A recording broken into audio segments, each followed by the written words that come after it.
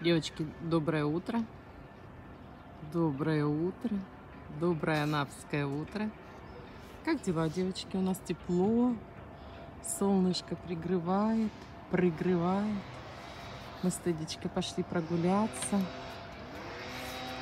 Но на набережную не будем спускаться к водоразделу, а просто вот сверху посидим на лавочке. Здесь такие лавочки, девочки, вот две лавочки. Я прошу мальчика, мальчика прошу сесть со мной, он не хочет сидеть. Ему бегать надо, но и так достаточно уже прошли. 10 тысяч шагов в действии. Так интересно наблюдать. Знаете, по яхте ходит, допустим, серая кошка. Или там вот чайки. Чайки гоняют уток, утки гоняют чаек.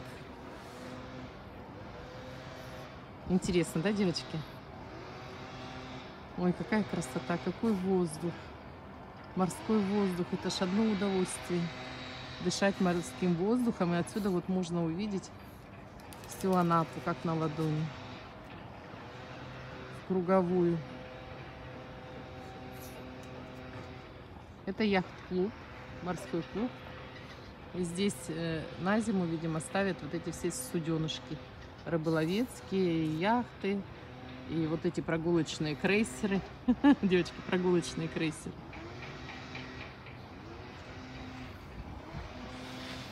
Вот такое утро анапское.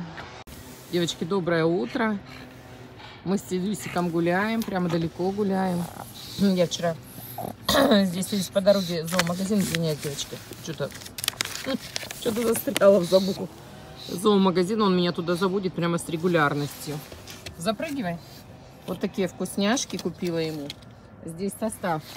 Мясо утки, рыба, сорбидол, растительный глицерин, крахмал. Протеин 30%, жиры 3%, зола 5%. Зола обязательно нужна для э, собачек. Клетчатка, влажность 23%. Обожают девочки. Не является основным кормом. Обеспечьте воду. Обеспечьте мальчику воду. И вот он за эти вкусняшки умирает. Я ему положила. И говорю, заскакивай. А он не хочет заскакивать. Ой, девочки, такая красота, слушайте. Тепло на улице. Прямо хочется, мой мальчик. Служи, служи, Тедичка. Служить, служить, служить, служить, служить. Ага, ага. А, ты хулиганя моя. Хулиганя моя. С утра прямо тепло. И мы здесь сидим, где яхт, морской клуб, яхты стоят на приколе. Рыболовецкие суденышки, парусники. Прям с удовольствием отдыхаем. Готовятся к сезону, там вот сверлят, рубят, пилят.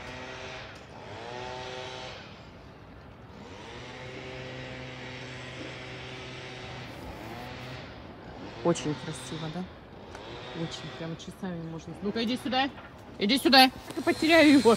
Фу. Пока стояла, болтала, собачка шла мимо.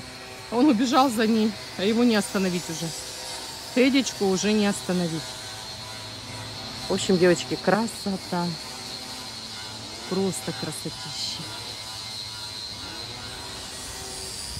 Просто красотища. Вчера в комментариях в прямом эфире Девочки там писали, Лена Павловна, все собираемся в Анапу, не можем. Не можем, хотим. Ой, очень красиво. Вообще море. Это же такой релакс. Это же такая красота. Знаете, даже не обязательно ехать летом. Можно, можно и в любое другое время года. Мягкий климат. И это все прямо, знаете, дышится, девочки, полной грудью дышится. Прям нигде не задерживается. Набираю воздух. Смотрите, сидит, слушает. Села, слушает, как я разговариваю. Ой, деловая такая колбаса. Ворона. Солнце припекает уже, припекает. Тедди сейчас бы за ней был, гнался бы. Полетел бы. Сейчас пойдем купим самсу вкусную, которую я вчера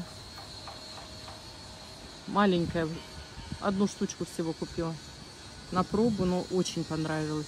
Вообще обалденно. Пойдем самсу купим, да, Тадичка? И пойдем домой чай пить, пойдем, да, Тадя?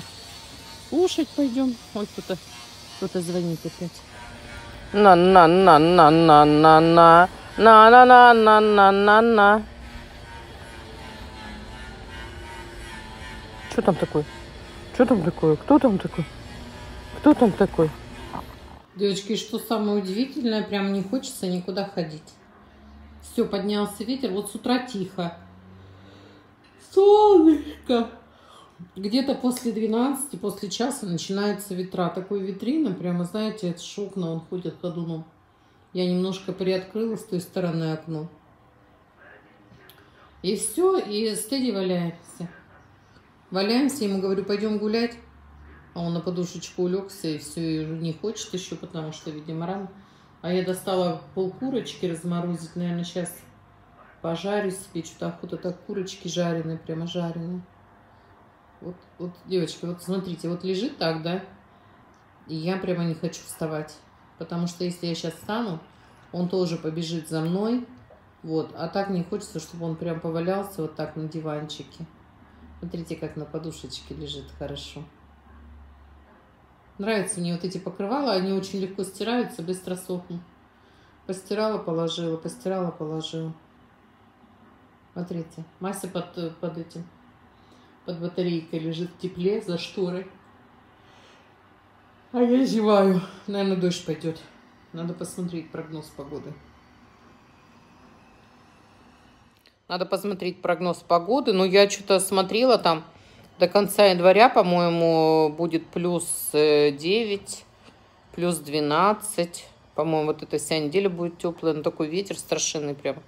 Прям страшенный. Сдувает. Девочки, балдею. Вообще. Ой.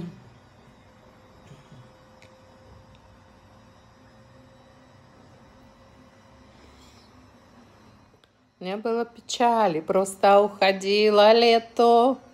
Не было разлуки, месяц по календарю.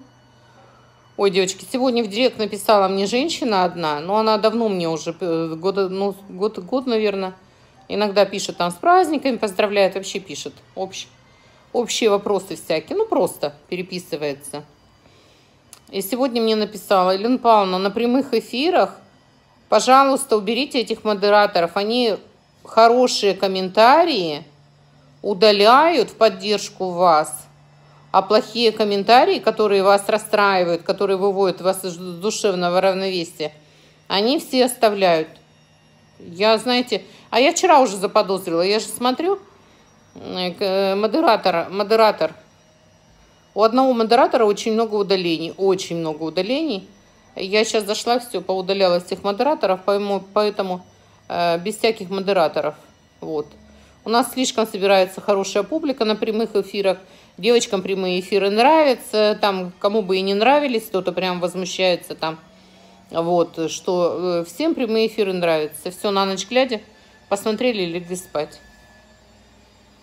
Вам проще, вы совсем не хотите уже работать, ничего не хотите снимать, не хотите монтировать. Слушайте, ну это мой канал. И формат видео такой, который я считаю нужно выпускать. Почему бы мне не отдохнуть? Посмотри-ка что, прям управляют нами, управляют. Вот я бы сейчас, знаете, это, Малахову бы писала, да, убери такой формат, э, я не хочу смотреть, или еще что-нибудь в этом роде. Ну, что-то совсем уже люди с ума сходят. Ой, стираю. Девочки, стираю.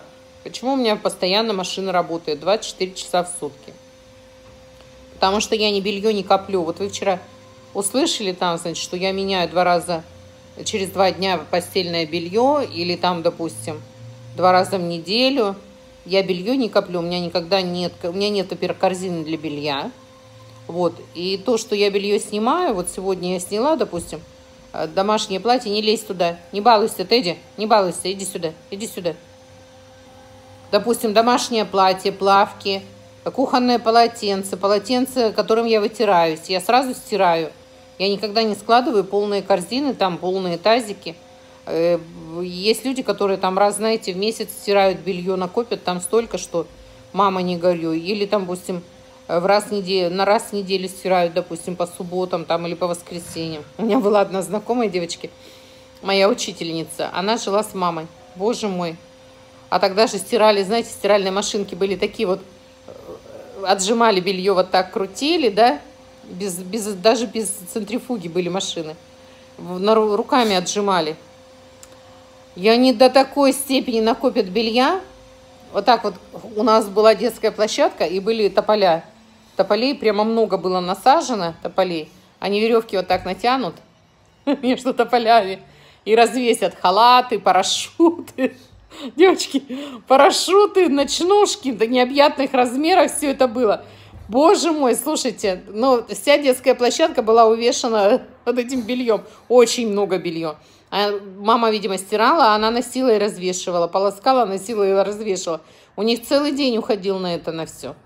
Сейчас совсем уже другая жизнь. Сейчас сушилки, машины, автоматы до такой степени все это отжимают, что, знаете, что не постирать-то? Бросил капсулу одну, постирала и все. И никогда не будет целая куча у вас белья. А про постельное белье я вообще молчу. Я вчера уже сказала девочке. Вы что, не моетесь? Я вообще в шоке. Я в шоке от того, что человек даже не понимает, почему белье бывает э, не свежее, потому что вы спите раздетыми. О, кто-то звонит, девочки, все, пока. Редактор звонила. Бородина против Бузовой, дистанционное обучение. Хотели экспертам пригласить меня в студию, но я не поеду, мне что, куда мне? Ни Тедди, ни Масю, ни дети. Не оставить. Да мне это не особо интересно. У меня сын уже взрослый, это дистанционка, это для него вообще как орешки щелкать.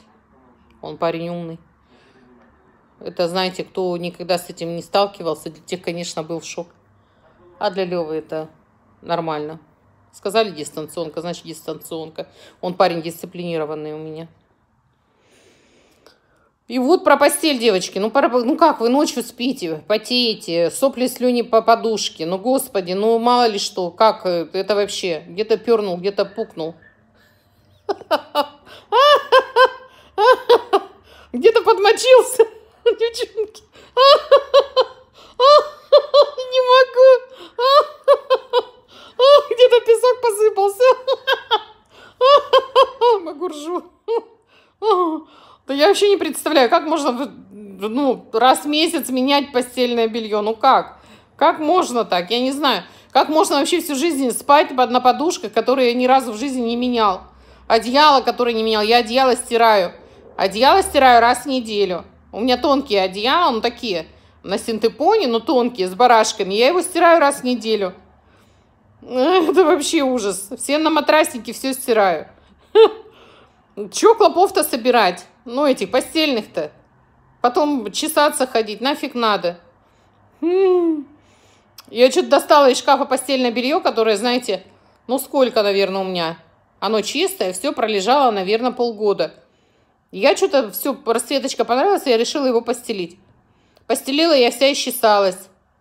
Потому что постельное белье надо стирать... Э, стирать часто, не надо его, чтобы оно лежало в упаковках. Или вообще не стирать в упаковках лежит новое. Ой. Я уже э, рассказывала вам, как раньше постельное белье было дефицитом. Льняные простыни были, пододеяльники были. Льняные простыни у всех были вообще. Такое, такие хорошие прямо льняные простыни. И вот одна женщина складывала, складывала все в шкафчик. И мыши как прошли у нее вот так вот, вот так вот. Чик-чик-чик-чик, почикали. Вот так мышь шла и почикала. И по сгибам просто не развернула, а там вся она в дырках. И стлела.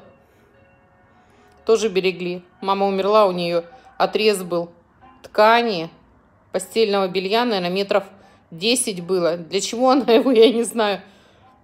Ну, можно было на полотенце раньше разрезали, льняные полотенца там. Я не знаю, для чего было. Знаете, может быть, на похороны – как гроб раньше носили на этих полотенцах.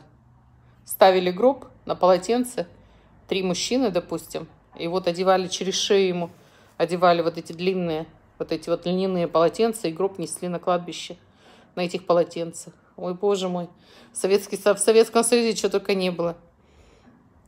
Ой, как мама хранила. Что-то, девочки, от постельного белья пошла дальше. Развернула похоронное, похоронное. Развернули там капроновые чулки, девочки. Лежат капроновые чулочки, которые носили, знаете, сколько им лет я не знаю этим капроновым чулочкам. Их же надо на что-то прицеплять. Раньше было такие, знаете, женщины носили. Наверное, этого у Александра Васильева такое точно есть. В общем, одевалась на бедрах э, такая повязка, ну, как она называется?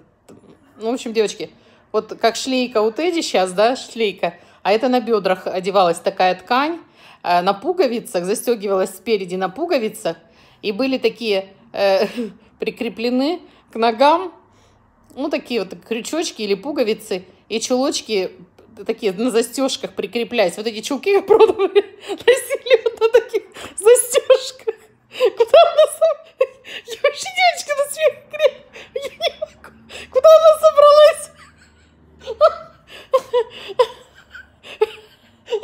Девчонки, не могу сказать. В мире Ной собралась капроновых чулочках. И на эти застежки где взять?